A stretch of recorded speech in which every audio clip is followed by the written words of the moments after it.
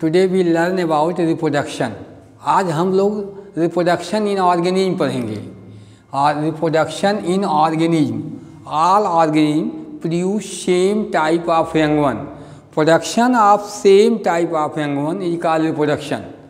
Reproduction is the living process.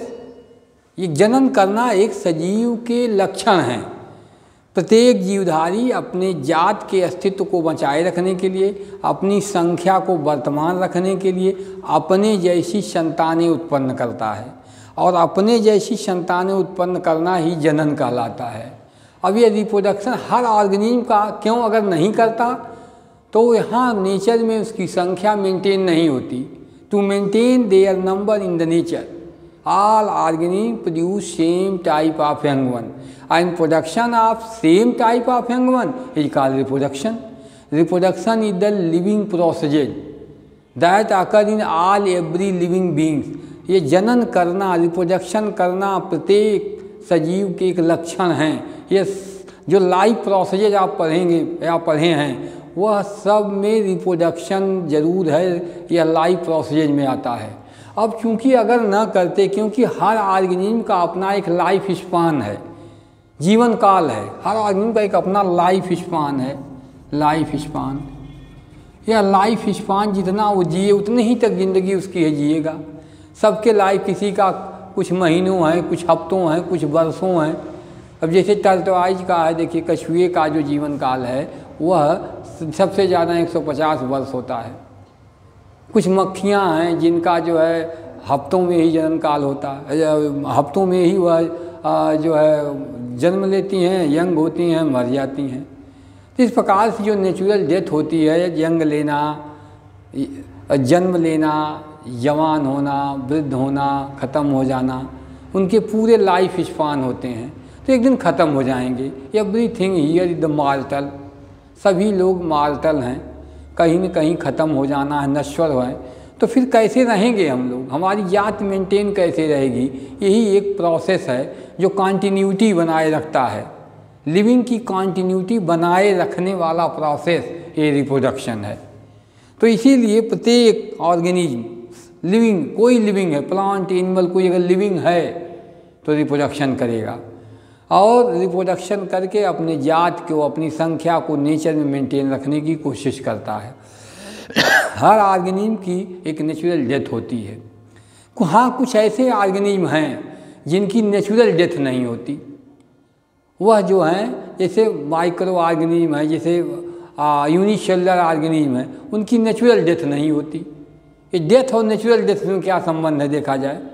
Natural death वह death होती है कि आदमी अपनी लाइफ स्पान पूरी करके जाए। जीव अपनी लाइफ स्पान पूरी करके जाए। लेकिन न, किसी की नेचुरल डेथ क्यों नहीं होती? क्योंकि देखिए अभी अमीबा है पैरामीशियम है उगलिना है इसकी यूनिसेलर ऑर्गेनिज्म है। तो क्या करते हैं कि अभी यंग हुए तो रिप्रोडक्शन करके सेल डिवीज़न कर लेते हैं। मान लीजिए एक, मान लीजिए एक अमीबा है, एक अमीबा सेल है यह सेल डिवाइड हो जाएगी, एक से दो डाटर अमीबी बन जाएँगे, ये हो जाएँगे डाटर अमीबी। जो कहेंगे, ये डॉटर अमीबी डॉटर अमीबी। अब देखिए, अमीबा दो हो गए तो चूँकि अब इनकी नेचुरल डेथ कैसे होगी, फिर ये यंग होंगे, फिर रिप्रोडक्शन कर लेंगे। तो चूँकि इनकी नंबर इनकी नेचुरल डेथ नहीं होती डेथ तो सबकी होनी है। जिसका जन्म होना है, उसको मरना है। चूँकि यह ख़त्म ना हो जाए, हमारे अस्तित्व ख़त्म ना हो जाए, इसके लिए प्रत्येक ऑर्गेनिज्म रिप्रोडक्शन करता है। और रिप्रोडक्शन क्या है? Production of same type of young one is call reproduction तो कैसे करता है? रिप्रोडक्शन की process of types of reproduction types of reproduction कैसे करता है? देखा जाए। टाइप्स ऑफ़ रिप्रोडक्शन कैसे करेगा ये रिप्रोडक्शन पहले रिप्रोडक्शन के तरीके हैं, जिसको कहते हैं asexual reproduction asexual reproduction asexual reproduction करता है। और दूसरा तरीका है सेक्चुअल रिप्रोडक्शन दो तरह के रिप्रोडक्शन होते हैं सेक्चुअल रिप्रोडक्शन तो दो तरह से आदमी अपनी नंबर को इंक्रीज करता है, बढ़ाता है मेंटेन करता है। वह है एक है ए सेक्चुअल और दूसरा सेक्चुअल है। ये सेक्सुअल रिप्रोडक्शन क्या होता है? और सेक्सुअल दोनों को देखा जाए अलग अलग तो पहले हम स्टडी करते हैं ये सेक्चुअल रिप्रोडक्शन ये सेक्चुअल रिप्रोडक्शन यूनिपेरेंटल रिप्रोडक्शन है। यूनिपेरेंटल अब ये सेक्चुअल रिप्रोडक्शन को देखिए यूनिपेरेंटल रिप्रोडक्शन है। यूनिपेरेंटल रिप्रोडक्शन कहलाता है ये सेक्चुअल रिप्रोडक्शन ये देखिए यूनिपर एक पेरेंट जहाँ लगे। इसमें ये नहीं कि एक स्पीसीज के दो ऑर्गेनिज्म हो तो रिप्रोडक्शन होगा। यह यूनिपेरेंटल है।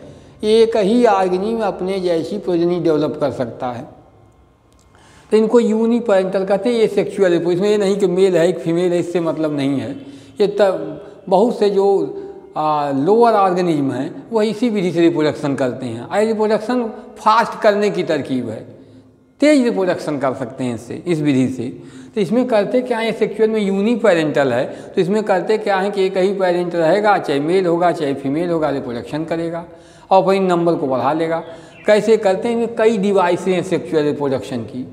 आया देखिए इसमें जो प्रोजनी आती है, जो प्रोजनी प्रोजनी जो इनकी आती है, वह एकदम जेनेटिकली और मार्फोलॉजिकली जेनेटिकली सिमिलर होती है।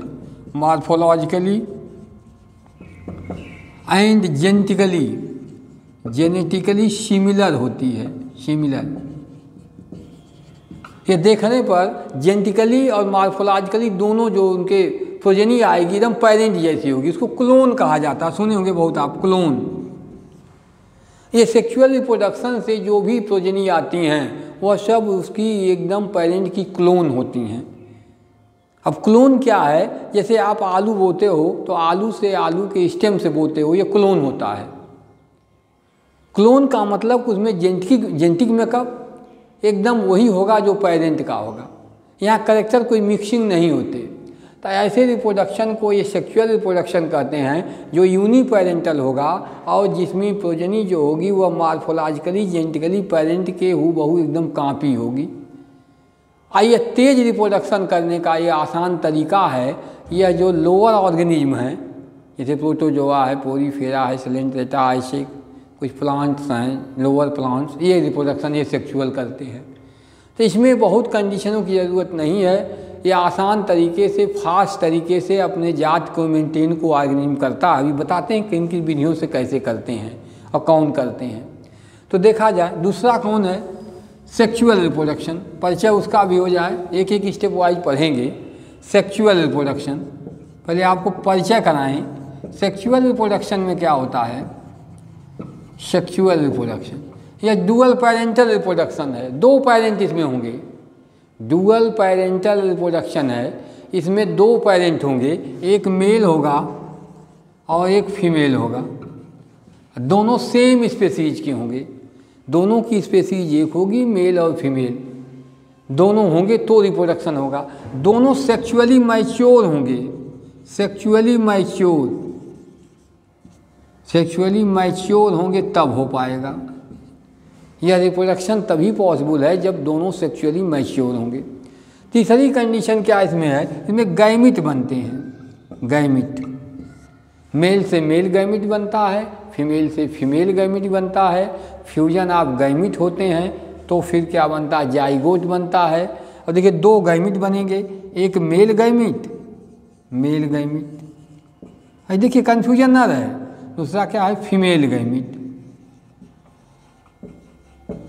और फिर फ्यूजन ऑफ़ गैमिट होता है, जिसको आप फर्टिलाइजेशन बोलते हो।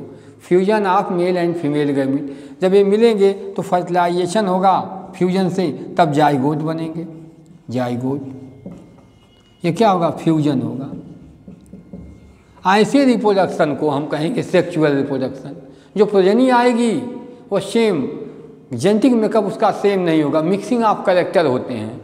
दो पेरेंटल करेक्टर मदर और फादर दोनों के करेक्टर मिक्स होते हैं और मिक्स होकर के तब रिप्रोडक्शन होता है। तो इससे जाइगोट बनते हैं। जाइगोट जो बनता है, उसकी सेम कॉपी नहीं होता, बल्कि इसमें प्रोजनी अपग्रेड और अपडेट होके आती है। तो एडवांस एनिमल में तरीका यही रिप्रोडक्शन का है, जो सेक्चुअल है। तो हम पढ़ते हैं पहले asexual reproduction asexual reproduction in organism दोनों को बताएँगे आपको सेक्चुअल भी बताएँगे एनिमल में कैसे प्लांट में, लेकिन पहले पढ़ते हैं हम ए सेक्चुअल रिप्रोडक्शन तो ए सेक्चुअल के कौन से तरीके हैं? Types of asexual reproduction asexual reproduction अब इसमें देखिए आप कैसे करेंगे सेक्चुअल रिप्रोडक्शन को. इसके करने का तरीका क्या है सेक्चुअल रिप्रोडक्शन इसमें कई तरह के ऑर्गेनिज्म कई डिवाइसें अपनाते हैं. जैसे कुछ ऑर्गेनिज्म ऐसे हैं, इनमें करते हैं कि फीजन करते हैं फीजन हिंदी उसको विखंडन कहते हैं, टूटना। अब लोअर ऑर्गेनिज्म में होता ही है।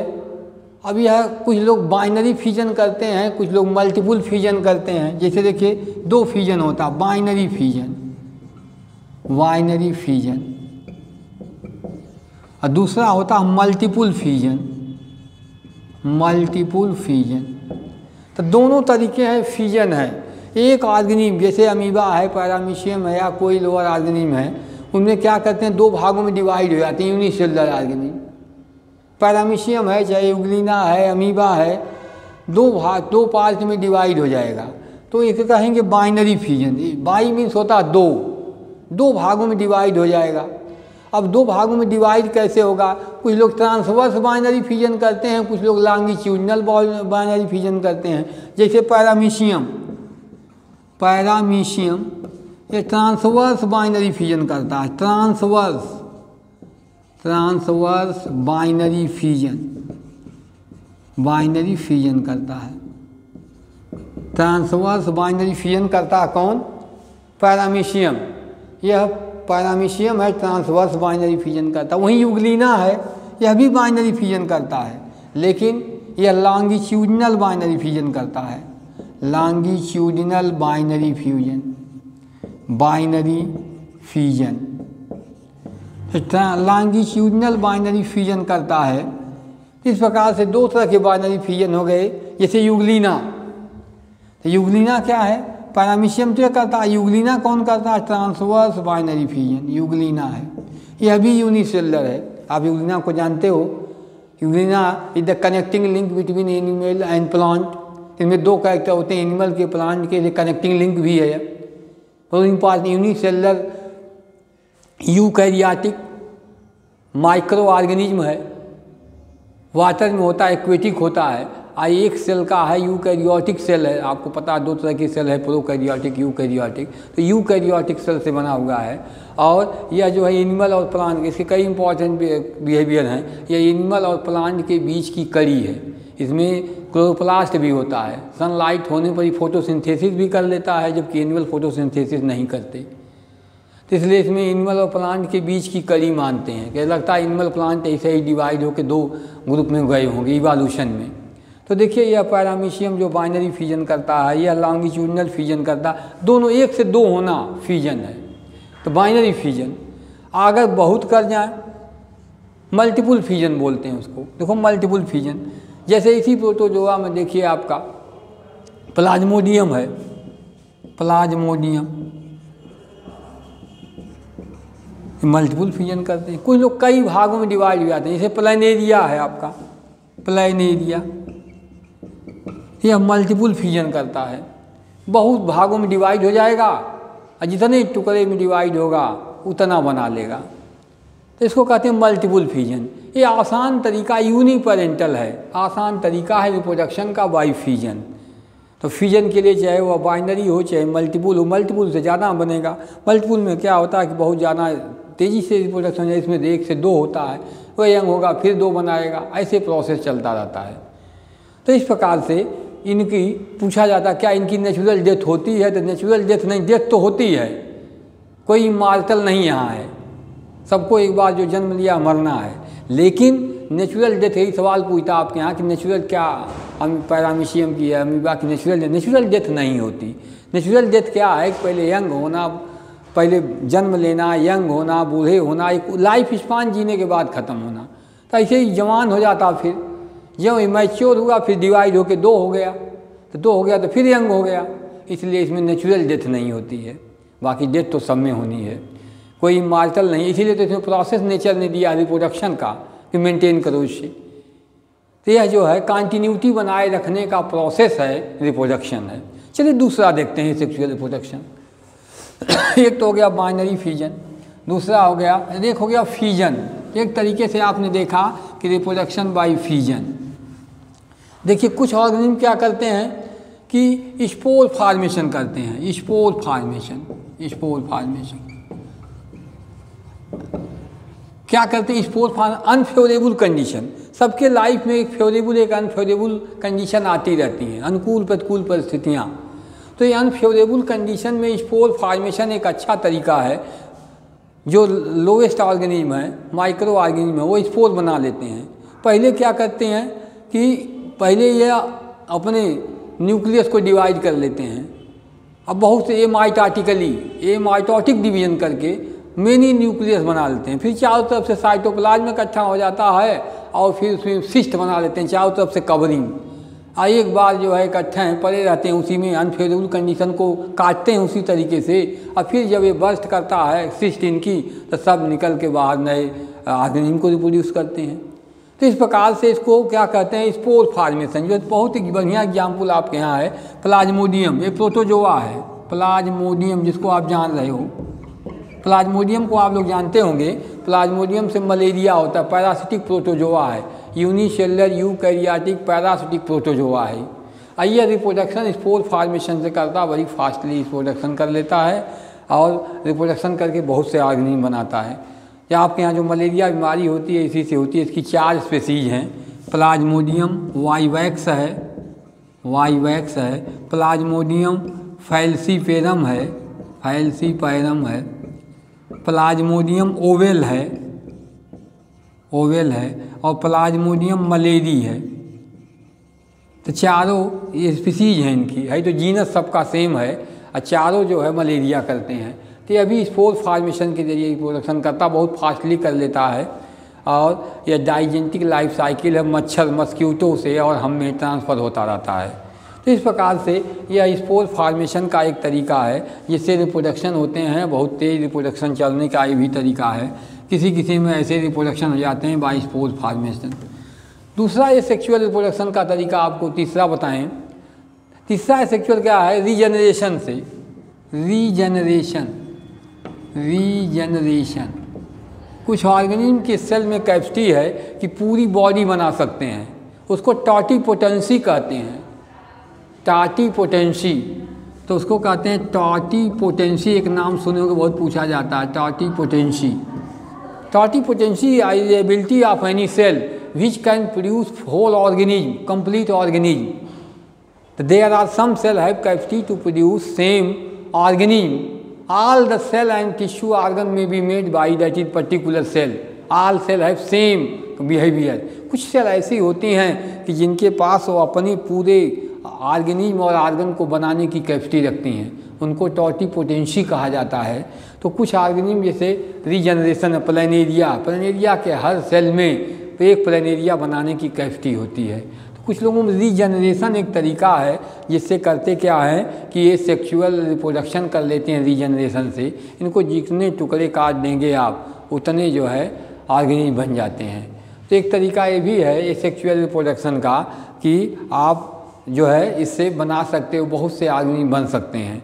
किसी किसी में स्पोर बनते हैं, zoospore formation zoospore formation spore से बनते हैं। इनको अनफेवरेबल कंडीशन में स्पोर बना लेते हैं और स्पोर बना करके एलगी वगैरह में फंजाई वगैरह में ऐसे रिप्रोडक्शन होते हैं सेक्सुअल रिप्रोडक्शन कुछ फंजकस में कोनीडिया से होते हैं कोनीडिया फार्मेशन कोनीडिया क्या होते हैं?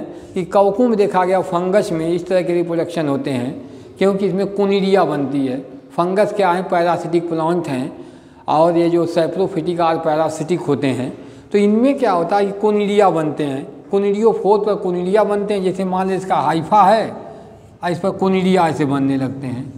इसको कहते हैं कोनीडिया। कोनीडिया, या कोनीडिया सेपरेट होकर के नए ऑर्गेनिज्म को जन्म देते हैं। ये यूनिपेंटल होता है, ये सेक्सुअल रिप्रोडक्शन है। ये कोनिडिया टूट टूट के निकलते रहते हैं और नए ऑर्गेनिज्म को रिप्रोड्यूस करते रहते हैं, नए प्लांट बनाते रहते हैं। तो यह तरीका आदमी रिप्रोडक्शन का है। कुछ लोगों में देखिए सेक्सुअल रिप्रोडक्शन होता बाई बडिंग बड बनते हैं, कलिकाएँ बाई बडिंग अगला रिप्रोडक्शन का तरीका है by budding by budding bud formation होता है। कुछ ऐसे ऑर्गेनिज्म हैं जिनमें बद बनती बद एक मुकुल है, कलिका जिसको बोलो आप। जैसे ईस्ट है। ईस्ट देखिए फंगस है, इसमें ऐसे बड बन जाएगा ऐसे। है ईस्ट है सैक्रोमाइसीज ईस्ट यहाँ लिख देते हैं ईस्ट इसका नाम सैक्रोमाइसीज इसमें देखिए बड है। ये बड अलग हो करके नए ईस्ट को जन्म देती हैं। तो इस प्रकार से सेक्सुअल रिप्रोडक्शन का एक तरीका और आसान तरीका बाई बडिंग जैसे आपके हाइड्रा है, हाइड्रा में भी बडिंग होती है ईस्ट में। हाइड्रा में जैसे हाइड्रा में भी बडिंग द्वारा होता है रिप्रोडक्शन तो ये सेक्सुअल रिप्रोडक्शन के भी तरीके हैं कि बाई बडिंग होते हैं। और देखिए तरीके ये सेक्सुअल रिप्रोडक्शन के हैं। कुछ प्लांट में वेजिटेटिव प्रोपेगेशन एक तरीका है। Vegetative propagation vegetative propagation propagation यह भी एक तरीका है जिससे रिप्रोडक्शन होते हैं। तो वेजिटेटिव रिप्रोडक्शन उसके स्टेम से रूट से लीफ से रिप्रोडक्शन कराते हैं। जैसे देखिए अभी आप, कुछ प्लांट ऐसे हैं जिनके रूट से रिप्रोडक्शन हो जाते हैं। जैसे आपको बताएँ हम, आपको sweet potato sweet potato sweet potato के रूट से आप रिप्रोडक्शन करा, नया प्लांट बना सकते हो। इसके रूट से रिप्रोडक्शन होता है। कुछ प्लांट के स्टेम से होते हैं। जैसे आप देखो पोटैटो का ट्यूबर पोटैटो है, उसमें उसको स्टेम को ट्यूबर बोलते हैं, ट्यूबर। इसके स्टेम से हो जाता है, ये स्टेम है। स्टेम से रिप्रोडक्शन हो जाता है। कुछ में ऐसे प्लांट हैं, जैसे लीफ से हो जाते हैं। जैसे ब्रायोफाइलम अजूबा। ब्रायोफिलम अजूबा है, इसके लीफ से रिप्रोडक्शन हो जाता है। तो देखिए, रिप्रोडक्शन का ये वेजिटेटिव प्रोपेगेशन सब हैं, इन तरीके से भी रिप्रोडक्शन होते रहते हैं। तो बहुत से प्लांट ऐसे रिप्रोडक्शन करते हैं वेजिटेटिव रिप्रोडक्शन है इनका। और ये आसान तरीके से रिप्रोडक्शन कर लेते हैं, अपने जैसे प्रोजनी डेवलप करते रहते हैं। ये सब इतनी डिवाइसें आपको दे रहा हूँ, ये सेक्चुअल रिप्रोडक्शन की डिवाइसें दे रहा हूँ।